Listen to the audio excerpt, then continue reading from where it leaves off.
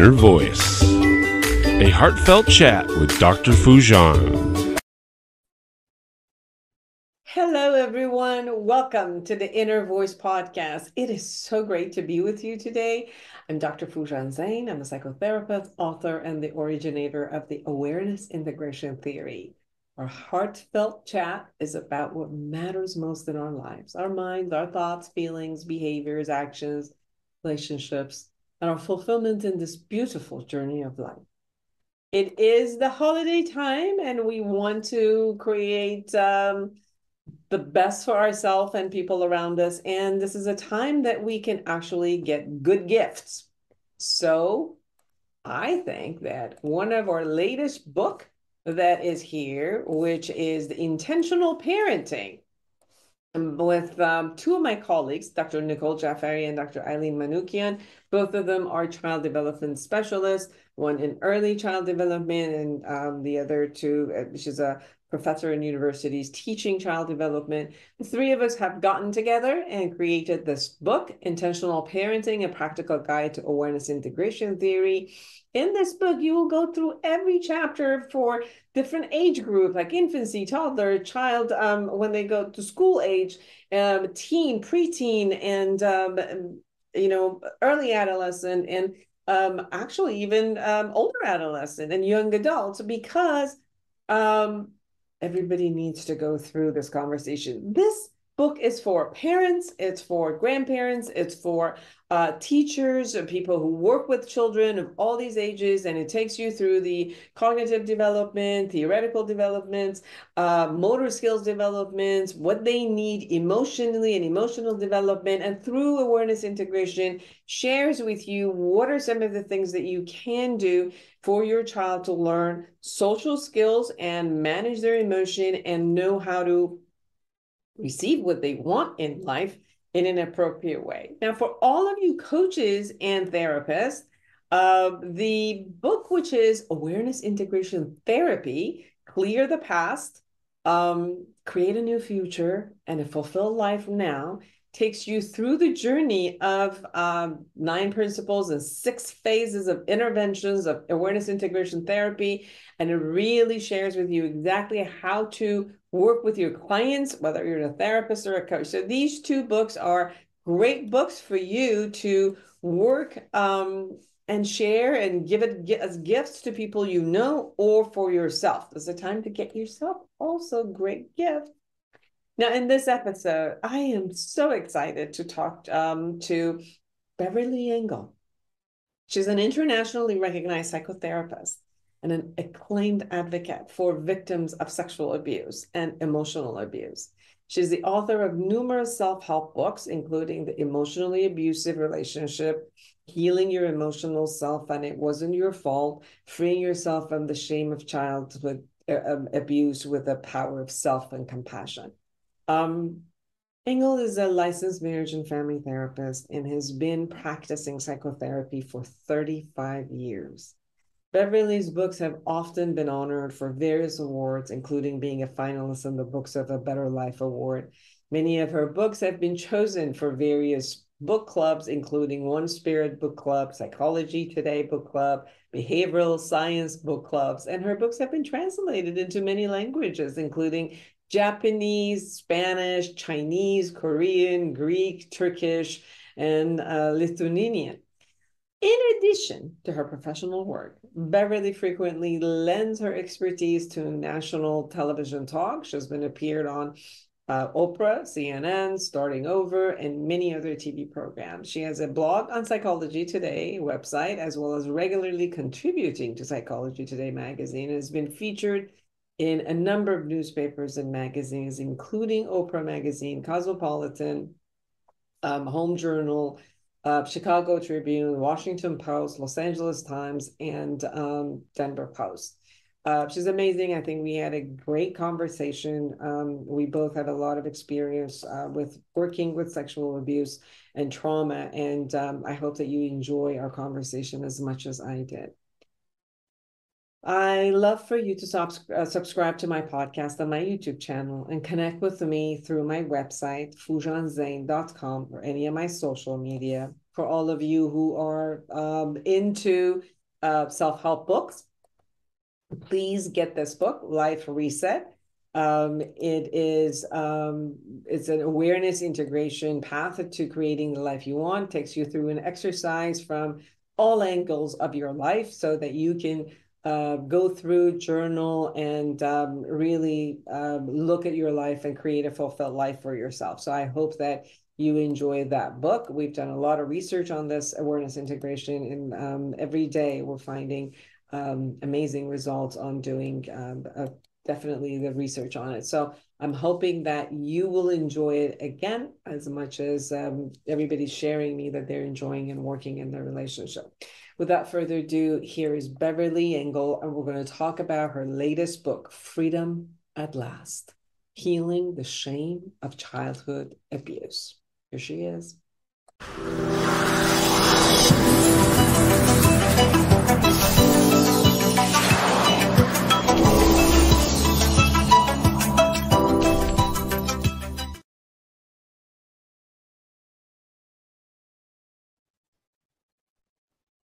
Hello, Beverly. It is so nice to have you, everyone. Beverly Engel. She is the author of Freedom at Last Healing the Shame of Childhood Sexual Abuse. Welcome to the show. Thank you so much. Well, um, childhood sexual abuse is um, high on the level of statistics everywhere in the world. And yes. um, I think, despite what we have attempted to uh, bring it down um, and and work on it. I think that we still in many many countries see it as uh, one of the main issues of um, childhood abuse. Um, you've done a beautiful job in your book on looking at different angles of this. Um, you know, going through shame and going through experiences, physical, spiritual, emotional. Um, and I think it's beautiful for people to know um, the different angles. I think that there's so many variety of experiences that happens depending on how the abuse has happened. Was it prolonged or was it like once? Is it for somebody who is a family member or someone who's not? And there's so many varieties of types of abuses that happens and the experience that happens the other side of it is that I think people think that if that has happened, you'll never be healed. And one of the beauty of your book is no, there's a path to that. And I've experienced yes. for 30 years of my own experience with clients and my, me myself being abused from age three to eight, knowing that there is a freedom at last. Uh, yes. So share with me first what got you to want to write this. Well, I, like you, uh, was a survivor and the survivors of childhood sexual abuse. Um, and I've had lots and lots of therapy mm-hmm. and was able to recover from a lot of it, but not from the shame. I carried the shame. Um, I tended to blame myself. Um, I never told anyone when I was a kid. And when I did tell my mother, she didn't believe me so I had a lot of repressed anger toward her, actually, that wasn't even aware of. And then I've worked with uh, survivors of childhood sexual abuse for almost 40 years. And so I saw that shame was the biggest issue for them the shame of blaming themselves, the shame of feeling like they were like permanently defiled, that they would never, never gain their self respect back, never be seen, in a positive way if anybody knew, uh, feeling like they shouldn't have been at that place, they shouldn't have been with that person, they should have told because they found out later that the same person molested lots of other children. So they carry the shame of that. Um, so the shame has seems to be the biggest issue. And so I wanted to write about that shame. So when we talk about shame, um, you have exp- uh, you have shared uh, the concepts of shame as let me see what I got from your book. Um, you talked about shame as painful, um, as a painful self-conscious emotion typically associated with negative evaluation of self, a desire to withdraw or isolate oneself, and feelings of distress, exposure, powerlessness, and worthlessness. Worthless, yes. definitely. Yes. Yes. And, um, and it's been uh, characterized by feeling of self condemnation and the desire to hide, the you know looking at yourself as damaged. So you obviously don't want anybody to know and you're always anxious about somebody like being found out. Like no matter how great you turn out to be you always are flawed inside and you know you're always waiting to you know the, the shoe to drop because somebody's definitely going to find out that you're bad um and then obviously this has a lot of ramifications in our life. Uh, right. and and um, so share with us um, what is your angle from looking at shame and how to heal that that part of us who goes through that? Uh, the biggest part is to stop blaming yourself. And that's really difficult uh, for lots of reasons. One is children as you know tend to blame themselves for everything that goes on you know especially with their parents or in their family uh, so that's one obstacle. The other obstacle is the idea that I shouldn't have been there or I should have said something like I said, uh, that I should have done something different. Males have a really difficult time with that because, as you know, males all over the world are raised to believe that they're supposed to defend themselves. They're not supposed to ever be a victim. They're not supposed to ever let somebody hurt them. And if they do, they feel horrible shame about that. Like I should have fought him off. You know, I should have run away. I should have done something. Um, and to, so for a male to own the fact that there was nothing I could do, I was helpless. That's a horrible feeling for a male in particular to feel. Females don't like to feel helpless either, but males certainly don't like to feel helpless. And they don't like to feel like they were victimized. You know, all over the world, you know, there's a there's a hatred toward victims. We're not supposed to be a victim. You know, we're not supposed to let someone do something to us like that. Um, people don't like victims because it reminds them that they could be a victim at any point, that they could be in a situation where they're helpless. So, you know, we have a whole culture of people believing that, you know, we we bring bad luck on ourselves, we cause our own problems. You know, it's always our fault if we're victimized instead of someone having self having compassion for us and saying, "Oh, gee, I'm sorry that happened." Uh, there's more of a tendency to say, "Well, what could you have done to avoid this?" So that feeling of being a victim is is shaming in itself. Yeah. Uh, so there's the self blame, there's the shame. Uh, if there was any feeling whatsoever of pleasure, or if a male got an erection or an ejaculation, there's all the more shame because look, I must have wanted it. I must have enjoyed it. They don't understand that the body is created to respond to pleasure. It doesn't matter who's touching us. Um, and, you know, it's very common actually for a victim of sexual abuse to feel terrorized and shame, and on the one hand, and, and on the other hand, feel some pleasure. And that's very confusing as you know, sexuality is confusing for adults, much, much less children. And if your first sexual experience is child molestation, it can be very, very confusing. So, this feeling of I shouldn't have felt pleasure if I really didn't want it, that's really pervasive.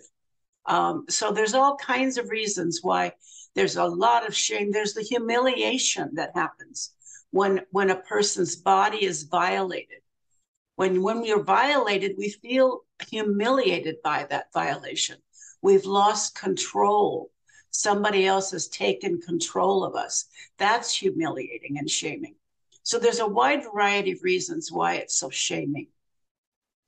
Um, another angle that came up for me as you were talking about it is um, when there has been a, a, a relationship built which at one point the person who's being abused is uh, also emotionally connected with the person.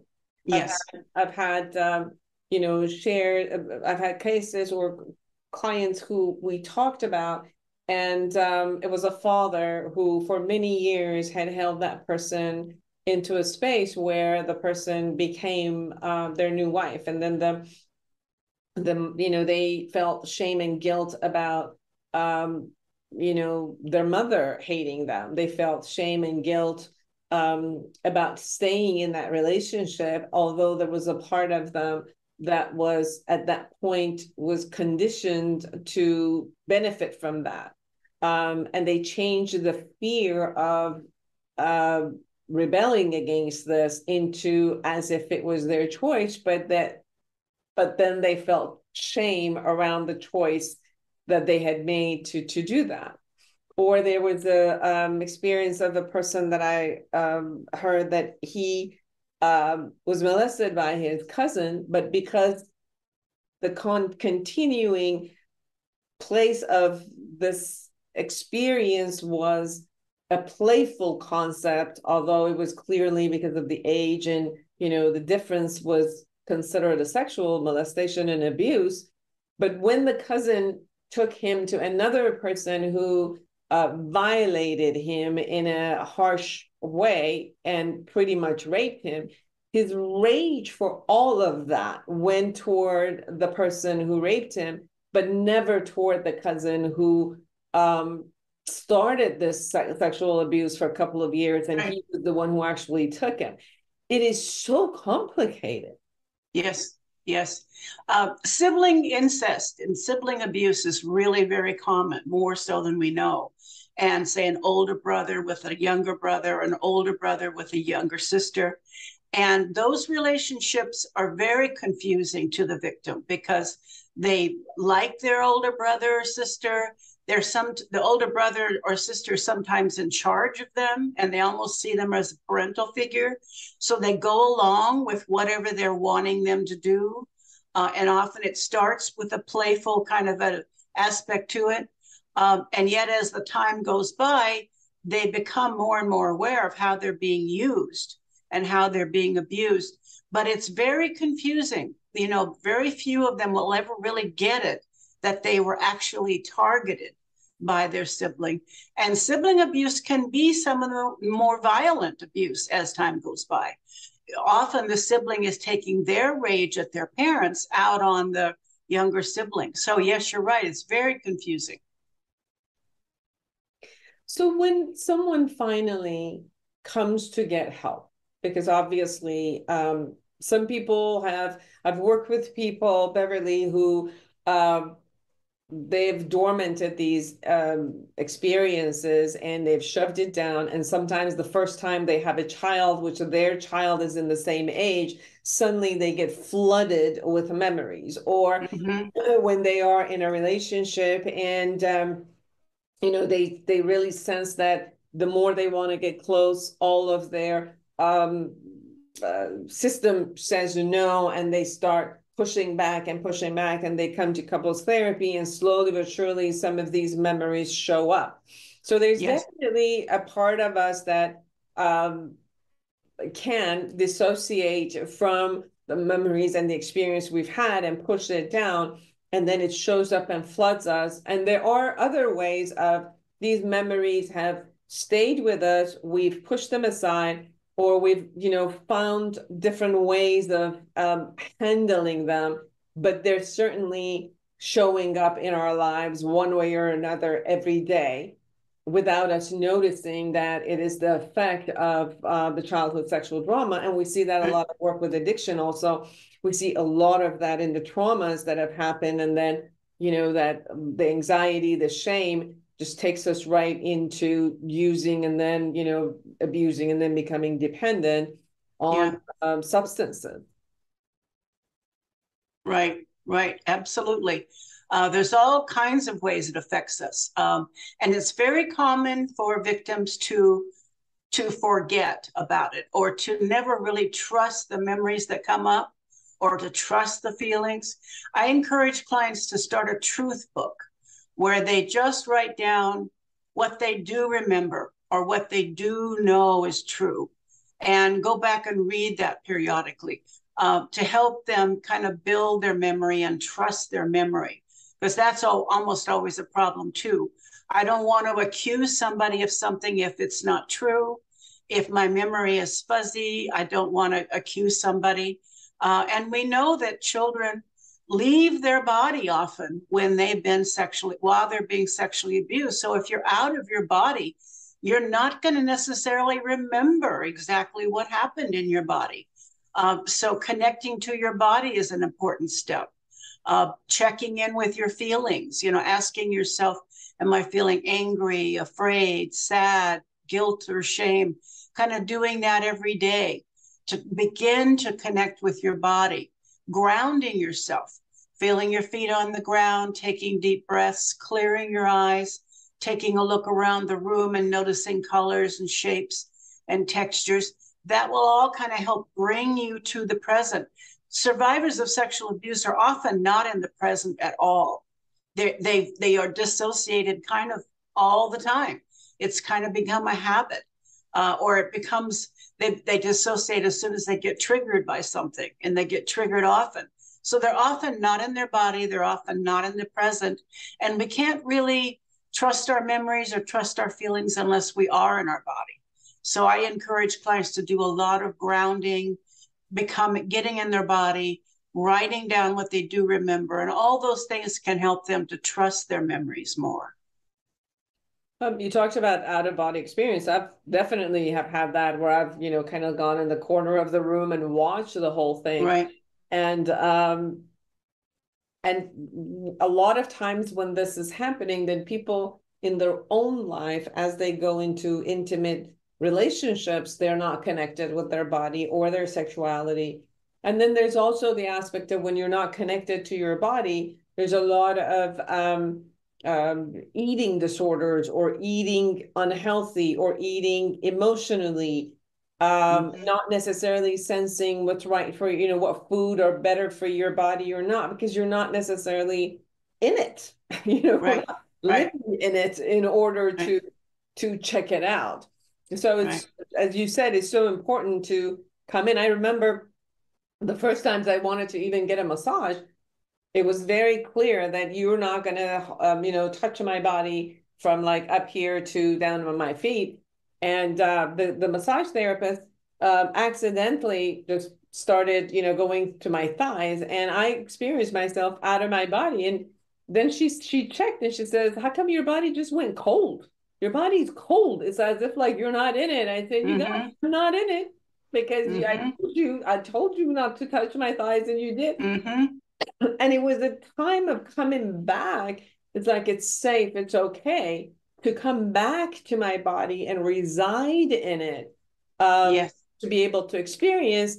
But as you know, and please share more with us in this area that if you haven't been in it and then you come in it, and then there's like this overwhelming experience of lots of emotions that you have no idea what to do with. Because if you haven't been in it for so long, you've been dissociating yourself from emotions. And then mm-hmm. suddenly you sit and then you experience this flood of shame and anxiety and, and sadness and then rage and all of it. Can you share mm-hmm. a little bit about how to handle these emotions as they show up in our body? Yeah. Well, first of all, we always have to remember to ground ourselves. Feel your feet on the floor. Take a deep breath. Clear your eyes. That will bring you to the present, but it also helps when you're triggered. Okay. It helps you to feel more solid, helps you to feel in your body. So I always have people ground themselves. And yes, then if they feel like crying, give themselves permission to cry. A lot of people are afraid that if they start crying, they'll never stop. You know, uh, and a lot of times it feels like that. Once they start feeling the pain, they will cry for a long time. But I always say, give yourself permission. These are tears that you've been holding back for years sometimes. Just let them flow. They need to come out. It will be cleansing, it will be healing, just to let yourself cry. And if you get afraid, don't, you know, remind yourself there's nothing bad's going to happen. If we cry long enough, we'll start to kind of choke. Some people may even kind of vomit. That's okay. But your body will take care of itself when you cry a lot. Some people just end up being so exhausted they fall asleep. But it's not going to do anything damaging to you to let yourself cry and let yourself feel angry. If you're angry, find a way to get some of that anger out. Kneel down beside your bed and take your fists and hit your mattress. You know, put your head in a pillow and scream really loud. Let that anger out. It's really good to let that anger out. And you have a reason to be angry. Mm-hmm. So I just encourage people. And if you get scared, do the grounding again. Feet on the ground, deep breathing all that will always help you to come back to the present it will always help you to to be in your body and be safe um freedom at last everyone healing the shame of childhood sexual abuse by beverly engel um, beverly what are your thoughts about um, sharing your experience with family members, sharing your experience with um, even the abuser, um, confronting the abuser. What have your uh, experience have been? I've had a lot of different angles of this, which um, you know, which we could touch, but I just was really wanting to know what were your ideas about it. Yeah, I always encourage people to tell the safest person first. The safest person might be a, a, your best friend, it might be your partner, but somebody that you know who loves you and you can trust them to just listen. Um, you can always ask them ahead of time. I have something to tell you.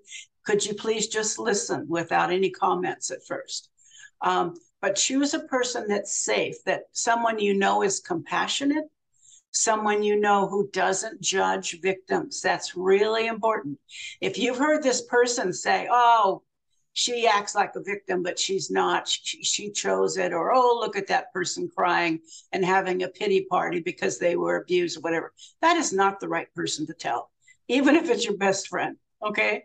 Choose somebody who's compassionate toward victims, ideally, somebody who may have been educated a, a little bit about childhood sexual abuse and somebody who understands it. If they were abused themselves, that would be great so be careful who you choose to tell for the first time. Maybe it's in, if you're in a group, maybe it's one of your group members, or maybe it's actually in the group. Uh, telling a therapist obviously is a good choice. So be careful who you tell the first time. That's really important. Uh, and then once you've had the experience of being validated, of being supported, really being listened to in a compassionate way, then you'll have the courage to maybe go to a family member. Okay. Uh, family members can be tricky. They can be, if it's, if, especially if the molester was a, a family member, they can feel more protective of the perpetrator than they feel toward you. Uh, they may have their reasons why they feel like they have to protect the perpetrator. So choose that person carefully. As far as confronting the actual perpetrator, that should kind of be down the line. Maybe hopefully after you've had some therapy, mm-hmm. practice it at first. Do a do a do a kind of a empty chair exercise where you imagine that the perpetrator is sitting across from you. I even encourage people to imagine that the person has a blindfold on and a gag and they're tied up. Okay. So they can't hurt you. They can't come at you and grab you. They can't even say anything negative to you. They can't even look at you in a shaming way or attacking way. So you can practice what you're going to say, practice what you'd like to say. Do that well before you ever go to a perpetrator directly. Uh, and know that going to a perpetrator might feel good to you to, to, to tell them, but nine times out of 10, the perpetrator is not going to admit it. And even if they admit it, they're not going to apologize. They're probably going to blame you. They're probably, I mean, I had a client who actually had a father who said, you know, if you hadn't sat up, and when she was three years old, he molested her. If you hadn't sat on my lap and squirmed around so much, I wouldn't have wanted to touch you like that. So perpetrators are masters at manipulation, at blaming their victims. So, you know, if you really feel like you have to confront your perpetrator, be very, very careful about that because you could be damaged psychologically from that if you're not careful. If you know what you're walking into and you feel strong and you've practiced, you know, and you've got somebody who's going to help you at the other end of the, you know, the situation, some friend standing by or something, but be very careful with that especially in the societies, Beverly, who are very like a social society, social familial society. Yeah, yeah. Um, which uh, incest and um, sexual abuse is is in a high high ratio. But one thing that I've really noticed is that um, even though at times where the perpetrator might have actually said, you know, yes, I'm sorry, but the backlash that it happens in the whole family system, uh, because sometimes the person has a spouse, they already have children, they are, you know, it's like the shame uh, just uh, has a domino effect because it's not just about the person who was abused. Now the shame is also out for the person who was the abuser. Now the shame is out for the spouse of the abuser, the children of the abuser, everybody. So it has such a domino effect suddenly that unfortunately it hasn't been, you know, some cases they have actually isolated the um, the perpetrator with their family out. Many times they've if if the person who's the perpetrator is a is a powerful head of the family or a powerful person within the family, sometimes you see that uh, the victim and the victim's family are isolated from the whole family. Right. Right. And um and kind of like shunned out. And there's so many ramifications that happens and it's really sad because I think you know there is a part of us that gets closure by um, hoping um, and, and and going through the process and seeing that somebody has really acknowledged uh, about the impact that they've had in our life.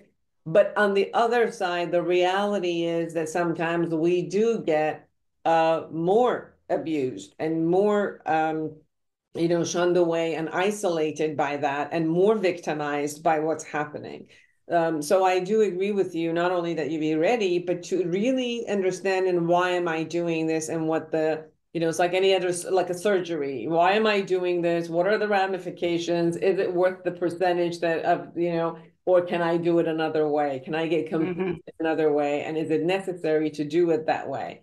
And if you, with all of that, say, yes, it's necessary, and I understand what, you know, the ramifications could be, mm-hmm. you know get the support be with somebody or you know get the support of how you want to do it and you know um, then go ahead and do it and then seek support right after also in order because you know to to face whatever the ramifications are right right um, what is it that in um, in your experience or in in the book that it shares with us about the process of healing that um, you work with your clients. So the first thing you said was, uh, you know, we're, we're going to stop the blaming of self and then work through the shame. Uh, what are the other processes that you recommend and work with? Well, self compassion is very big. Um, that's really acknowledging your suffering, really, really telling yourself, I really suffered because of this. Maybe making a list of all the effects that it had on you and fully acknowledging to yourself how horrible it has been. Instead of you know minimizing it denying it really fully saying no this really has had a very negative effect on me and then offering yourself self-compassion. Self-compassion sounds something like i'm so sorry this happened to you. You know this was horrible. Uh, this was very painful it's affected my life tremendously. You know, I didn't deserve this. I didn't deserve to be treated this way. And so there's lots of exercises that can be incorporated in terms of self compassion. Um, maybe self forgiveness is important to you because maybe you need to forgive yourself for some of the ways you acted out because of the abuse. It's very, very common for people who were sexually abused um, to victimize other children or reenact it with other children. Uh, it's very, very common um, to, like I think you mentioned, having a child and maybe projecting onto that child some of the fear and concern that you had as a child, and maybe being overly protective of your child. Um, or maybe not being able to fully love your child because you're so damaged and so hurt. Um, you mentioned addictions are very, very common. Uh, so coming to self-understanding is another important one, where you really connect the dots between your negative behaviors and the sexual abuse. It's not an excuse. You're not excusing your behavior, but you're connecting the dots and saying, okay, now I understand why I was abusing alcohol or why I was abusing drugs or why I was, you know, became sexually addicted uh, or why I was uh, unable to uh, enjoy sex. You know, there's so many symptoms, but making that under that connection and saying, okay, now I understand. And that there's a phrase that's just beautiful and so healing.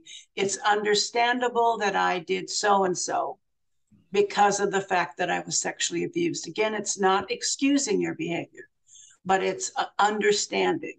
And then, then perhaps it's going to the people that you've harmed and asking for forgiveness, um, not making excuses, just letting them know. I know that I, as a mother, I was too strict with you.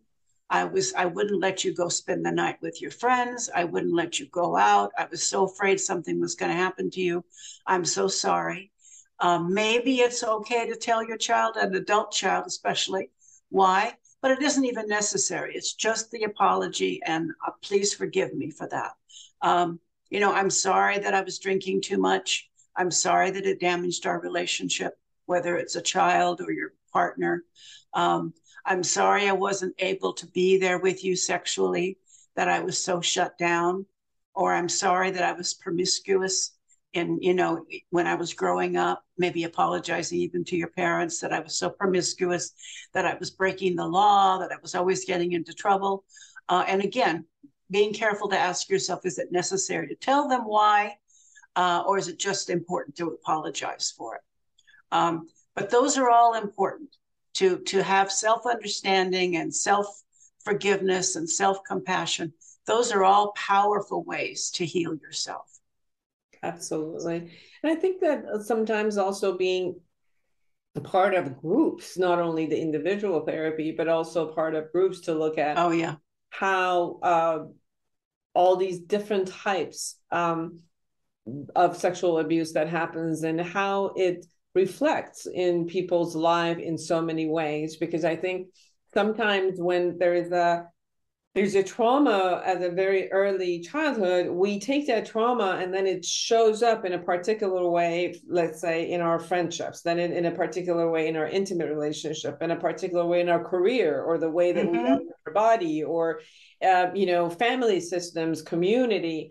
Um, so sometimes when we are in a group and we hear different concepts of, oh, this happened to my life and this is how it um, affected my life, then it becomes a mirror about, oh, how did that affect me in my career? How did that affect me in so many, many, many different layers uh, mm-hmm. of my life that um, sometimes when we talk about sexual abuse, uh, we imagine it that only affects us in maybe intimate relationship and sexuality but it can affect you in every realm in every type of relationship that you have. Yes yes. You know we've seen that a lot in um, the work situations me too movement. Many of the people who um, had gone through that is because they also had experienced this as a childhood. So as it was showing up for them they weren't even realizing that this is not okay to take yes. stand. You know they victimized themselves again and again and again because they thought this is the way it is like they would even gravitate toward it or it was normal for them instead of somebody right. saying no from the beginning the same way if somebody's you know abused by their father physically they might have a higher chance of um, finding a mate who also is abusive to them. Right, so right. Looking at all of these areas that as an adult, it's uh, manifesting itself. And, you know, uh, not only going through the healing of the childhood concept, but also seeing the trace of it, how much it's affecting me in different areas and how to heal that and at least being aware of it so that I can change my behaviors and the way that I approach the world. Absolutely. Uh, that experience of the Me Too movement, movement is really profound because a lot of the victims became frozen when when they were sexually approached Mm-hmm. Uh, and that that state of being frozen is is a state of trauma, It comes from having been traumatized. And I can't tell you how many clients that when I explain, because they would say, I felt like my feet were in cement, I couldn't move. And I explained that, you know, well, that's related to the the fact that you were sexually abused as a child and you were being re-traumatized and your body had gone into the freeze mode. You know so just understanding that that can help them forgive themselves for not being able to be assertive and being able to push the perpetrator away.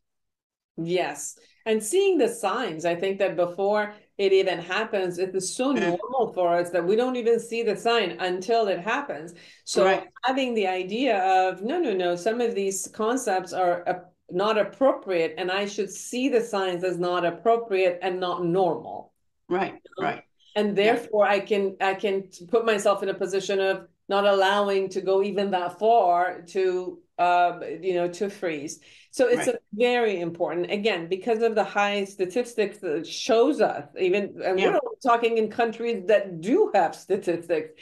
There are right. so many places that the structure of creating uh, statistics is not even there. So yeah. we know that the sexual abuse and molestation in any format is uh, is still happening in a very very high amount. So yes. uh, educating ourselves about it and educating our children is important. What would be, uh, to complete our conversation, what would be your suggestion for uh, you know parents who are trying to prevent sexual abuse of their children and they're trying to teach their children in how to set boundaries for themselves and you know how to be at least whether you know they're there in the family setting and or with a stranger what would your suggestion be to parents in how to to share with their children in a way to educate them to protect themselves well, there's so much information on that. And I don't think we have the time to go into the, all of that.